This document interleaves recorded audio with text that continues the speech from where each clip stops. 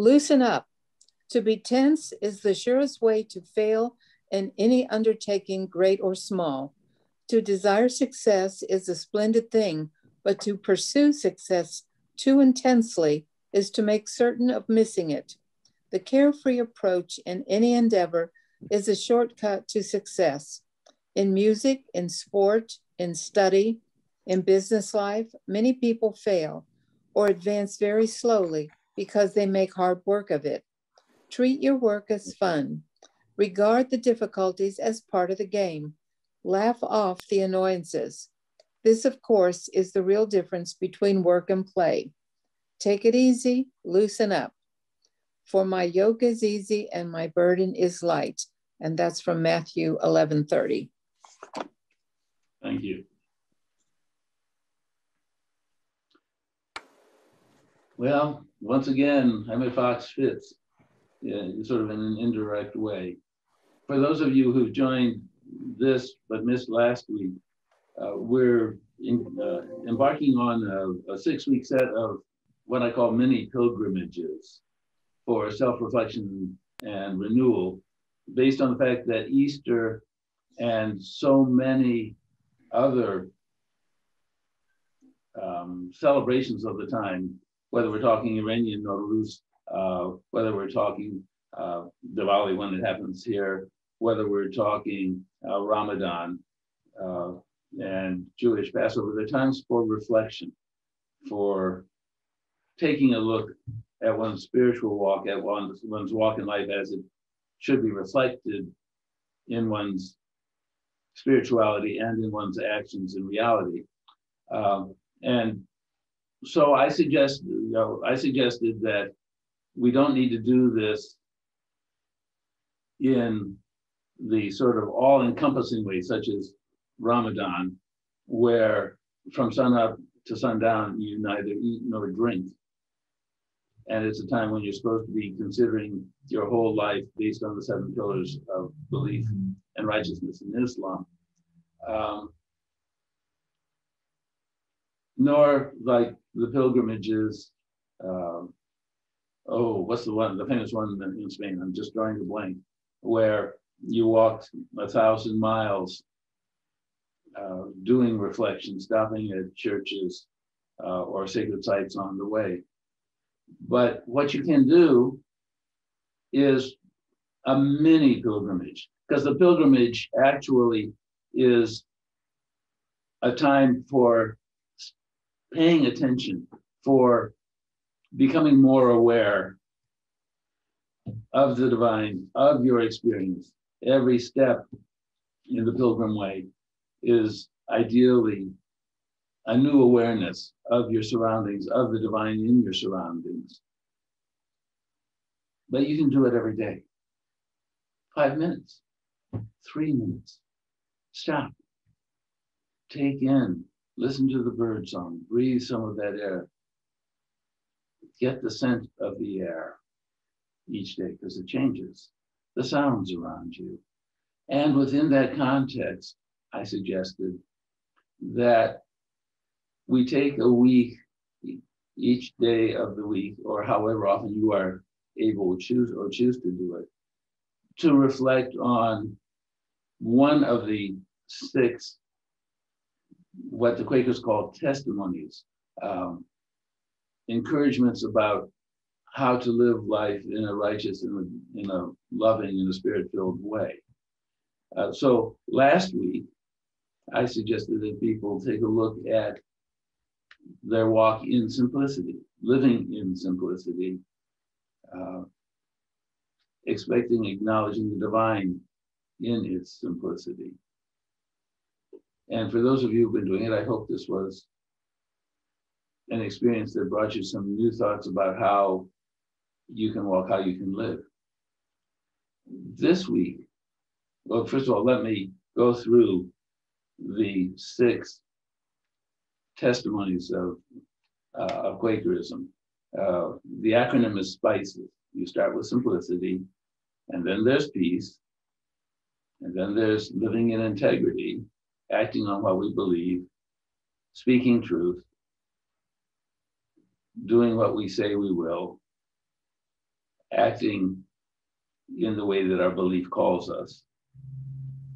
The next one is community, where we support each other in our faith, where we support others in their spiritual walk, but also in being part of a welcoming community, a welcoming group, a feeling welcomed in the world, accepted, loved. The next testimony is equality, treating everyone everywhere as equally precious to God, and recognizing that all of us have gifts, divine gifts that we can share and ideally feel called to share. And from the Quaker perspective, which I believe fits for all of us, also recognizing that there's that spark of God living in the heart of every one of us, and that each of us needs to be aware of and respond to that spark of God in every man, woman, and child. And if we want to extend it further, into every rock, every tree, the entire world. And then the final testimony is stewardship, or uh, some of some Quakers call it sustainability, caring for the earth and all its pieces, all its inhabitants, responding to all of God's creation with caring, using only an appropriate amount, which takes us back to simplicity, of the earth's resources, and working to protect all that is on this earth. So today, the second week, we're going to deal with peace, which is, in the broadest sense, seeking justice, seeking healing for all people, uh, taking away causes of war. But that, that's more surface. Uh, we need to look farther than that because if we're talking peace, peace covers so many aspects of our being and of the spiritual being. Um, let's first start with the definition of biblical peace. Uh, this, this I found on the internet. Uh, biblical peace is more than just the absence of conflict. It is taking action to restore a broken situation. It's more than a state of inner tranquility. It's a state of wholeness and completeness. And then looking at the New Testament, there's five different uh, meanings associated with peace in the New Testament. One is the absence of war or chaos. There's also peace indicated as a right relationship, or we might say a wholesome or connected relationship with the divine, with God. Peace is also indicated as a good relationship among people. And peace is also an individual virtue or a state of being, tranquility or serenity, as examples. And then also, peace in the New Testament is a part of a greeting formula. And if you're at all familiar with uh, interactions, transactions, meetings in the Arab states, you know, where Christianity came from, where Muslim, uh, Islam came from. Uh, peace be upon you is the greeting, and the responses, and also with you. So that's the greeting.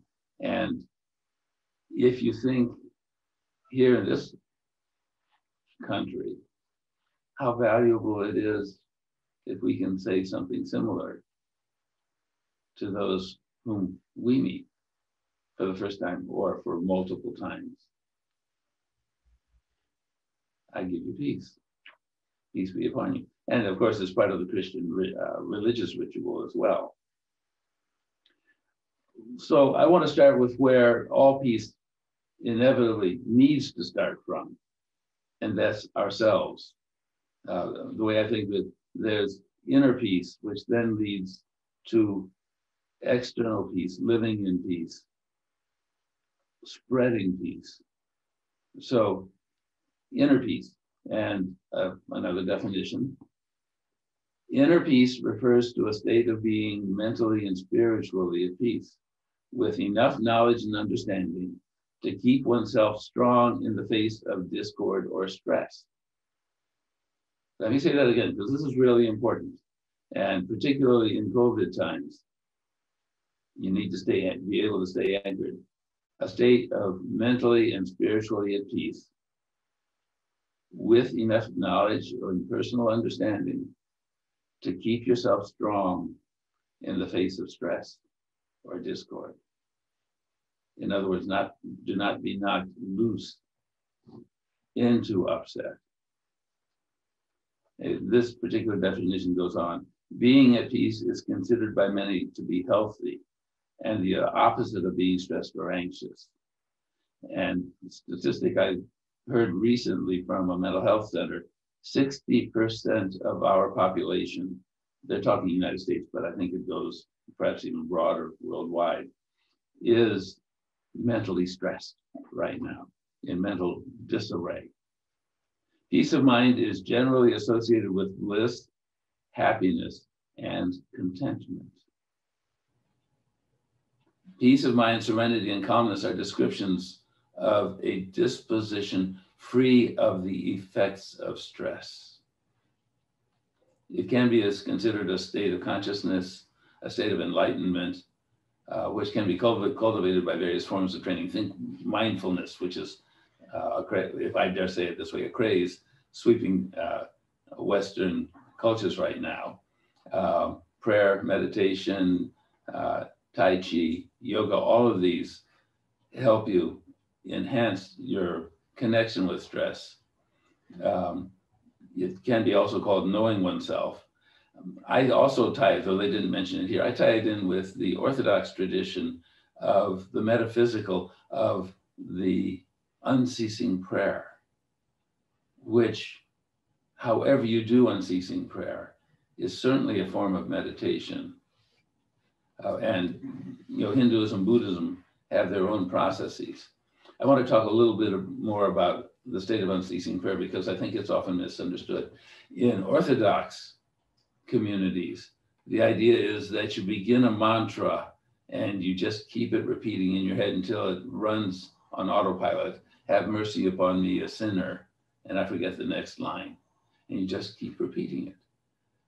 But my experience, when I'm really good at it, and having watched others like Mother Teresa, there is also the unceasing prayer of what I call the eternal connection, where you feel the connection, the sense of peace without words, but you are carrying it with you as an anchor, as a beacon that you're following.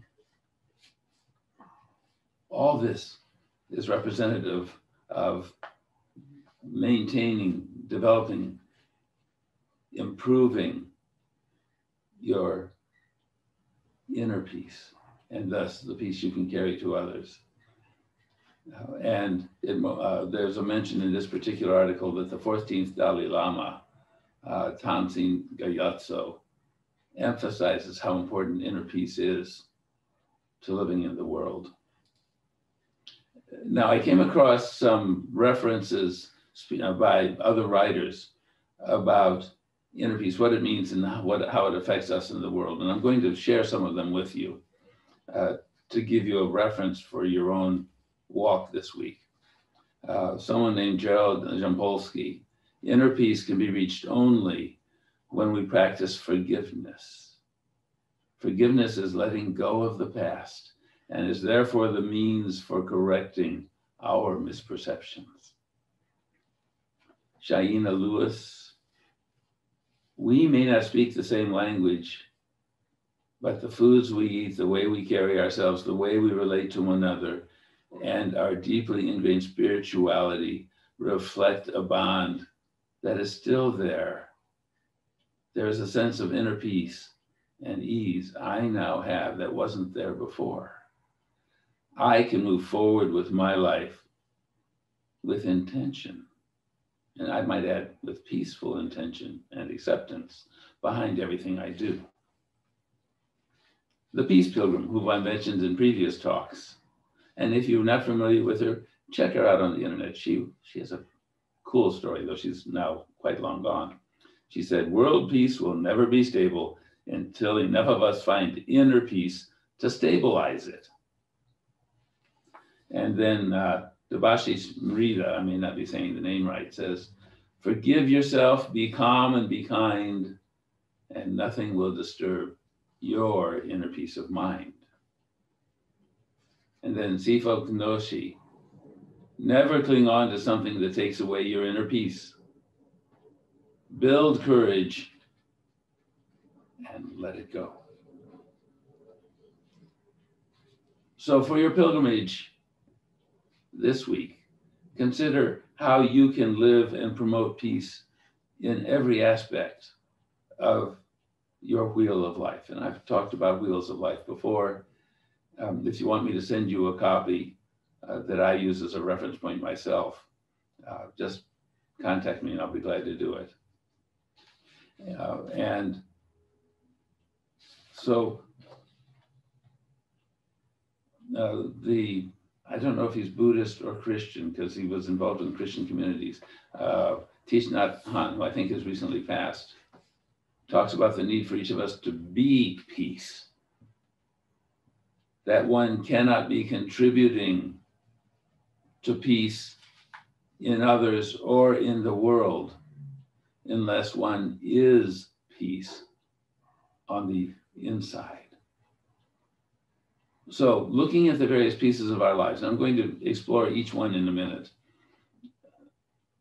What you might consider in your mini pilgrimage, in your meditations, in your prayers, is how might being peace and living peace and making peace look like in the parts of our world?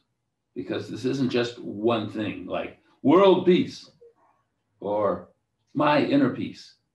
It's every aspect of how we live. So, for each section, here are some ideas that I've jotted down. And if I'm really on top of things after service, I will send you a copy of these questions for you to reflect on this week.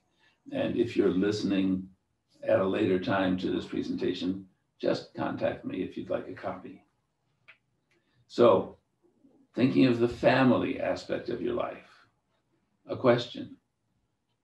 Am I living in my family and connecting in it, with it in such a way that each member of my family, and this doesn't matter if we're talking a blood family or for those of us who have felt the need to create an intentional or contractual family or both, so that each member of my family knows that I show them my honesty and fairness and my love.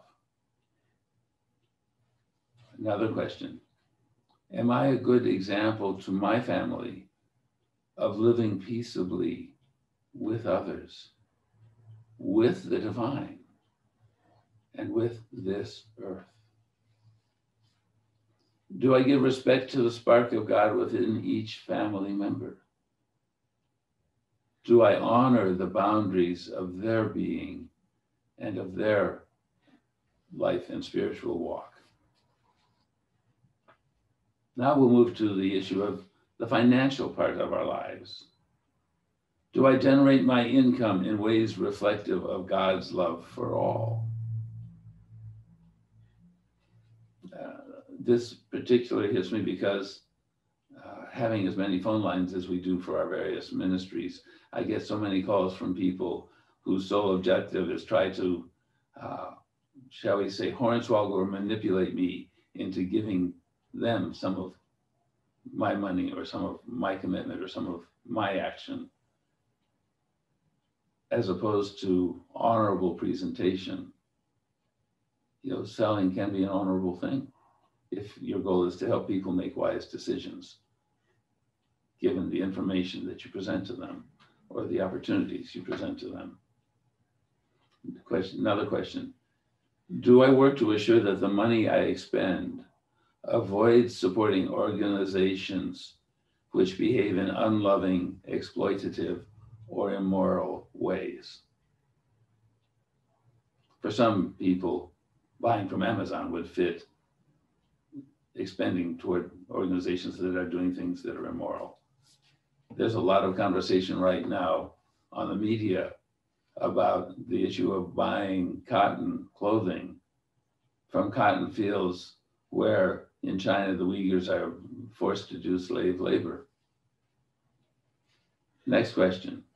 How can I use my finances to better encourage peaceful energy in this world? It may be with expenditure, uh, with well, how we expend. It may be with donations. It may be with how we do not expend or how we do not draw funding.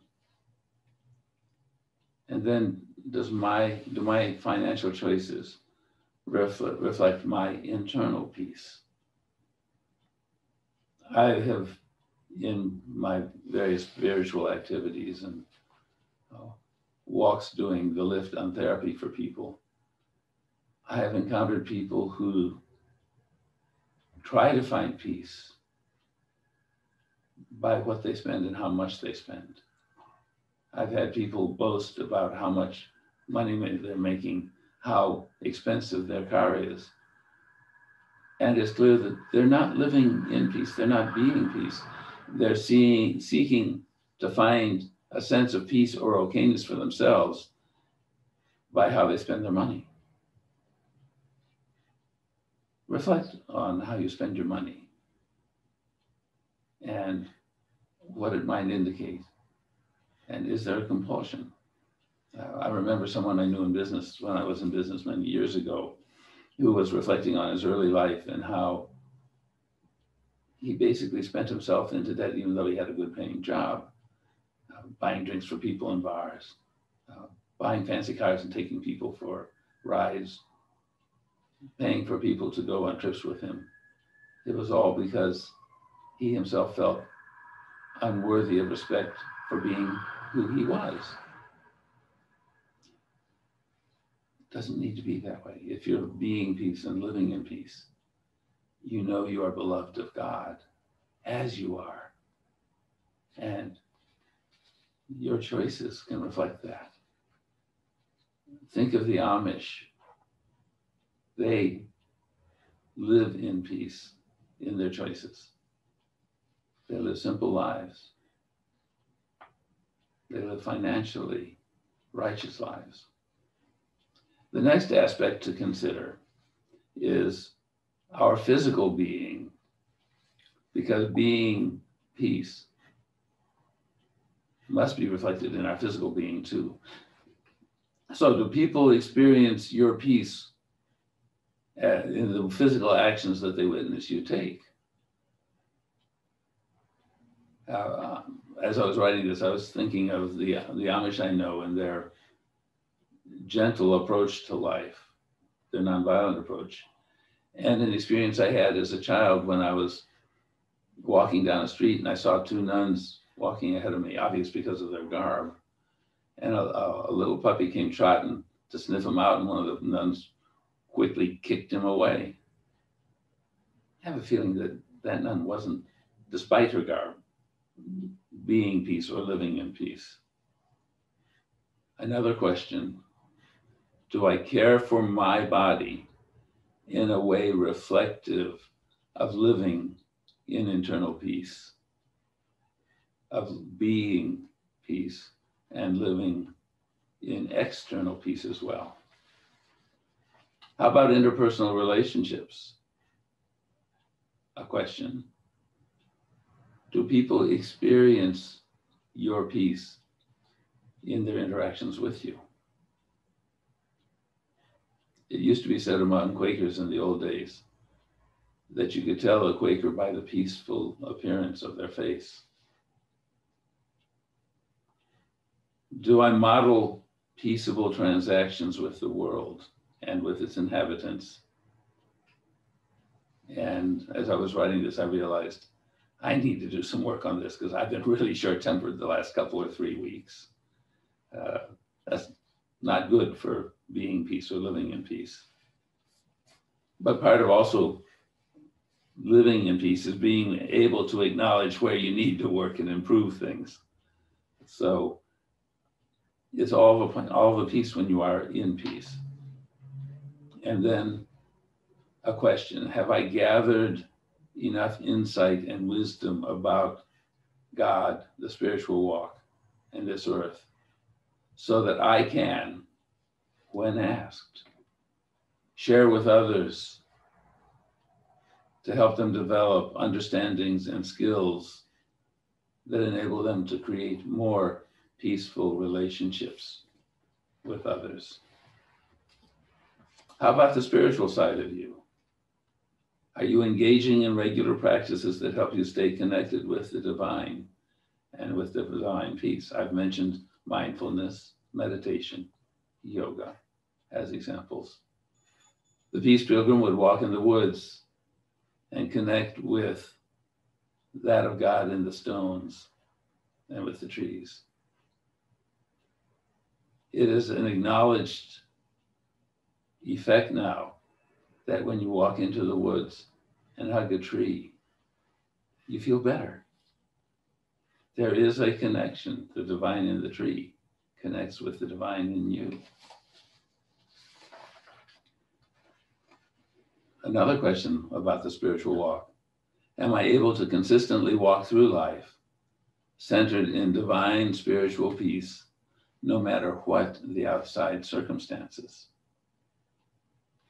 If you think of people you know around you, you'll realize how many it doesn't take but one minor incident to have their complete sense of peace and well-being completely disarranged. I think of it, I talk of it often as resilience, because within resilience is, uh, oh, I can get through this. Things will get better. In fact, I only recently realized that's a connection with divine peace. When you know that the world is heading and your life is heading toward better, and that you can deal with whatever is handed out, that's divine. You're connected with divine peace. You're spreading it.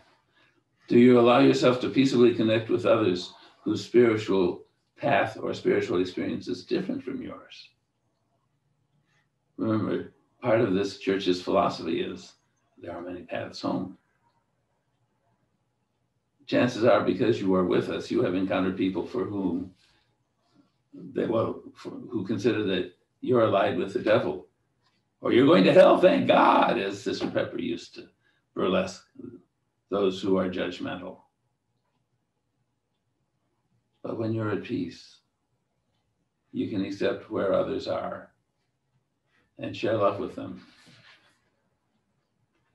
And another question on your spiritual side do you remain what the Quakers call tender, receptive, open to messages and guidance from the spiritual world, which can help you build more inner strength, strengthen your sense of inner peace. And from there, share that inner peace so it becomes outward peace that others can experience. Career. Does the work you do communicate honor, respect, and fair treatment to your fellow workers and those whom you serve? Have you given thought to what more you can do within your career, the work you do? And that doesn't mean necessarily just paying work, mind you. To spread a sense of okayness, of divine love and personal well being and acceptance to the denizens of this earth and to the earth itself. Emotional, your emotional side. Do you stay actively alert for indications of emotional unpeace within you that need to be dealt with so that you can identify them, as I mentioned for myself earlier, so that you can heal them and generate more inner peace and thus more peace to share outwardly. Uh, check your actions, your emotional responses, your ability to be resilient. Does it serve as a guide that for others to emulate? Do they experience and understand that it's your divine inner peace that enables this and that they can have too. And do you need to strengthen your connection with the divine? The unceasing prayer that I mentioned earlier, for example, so that even in the most trying times, your inner peace is there and cannot be disturbed. What about leadership? Do you lead and encourage others by peaceful means? I was just talking with uh, a gal I've met who differentiates between leaders and bosses. She says, I want to be a leader in my company. Leaders help others grow, help others find the way, and help others accomplish. Bosses, she says, they just say, do this or else. Well, the first shows an inner peace, the second does not.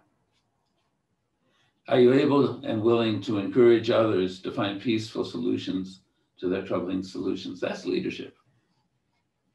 Do you give respect and honor to all with whom you deal as a leader or as a superior? Do you seek to instill a culture of peaceable, peacefulness and honorable transactions in the organizations in which you work? So here we're dealing with peace emanating from inside you. I want to take a, a step farther out now from the immediate people we interact with. Um, so how about, how can you contribute to peace throughout the world? Uh, Father Richard Rohr, whom I quote often, uh, has a piece I'm going to read, not in its entirety, it's excerpted, that I think is worth reflecting here he says, in Jesus' teachings and in his life, and I want to remind you here that Father Rohr talks about the cosmic Jesus who has come to many peoples in many forms, in many sets of words, but the message has always been the same about God's love. So in Jesus' teaching and in his life, we see modeled nonviolent, peaceful action. He encourages us to likewise turn the other cheek and not return vengeance, or I'll say violence with violence. There is no way to peace other than through peacemaking itself, which I will suggest goes back to being peace within. I goes on, I like to use the example of a small boat crossing the Gulf of Siam. You're hearing a lot of people having to escape by boat. They have been since Vietnam from places where living was untenable.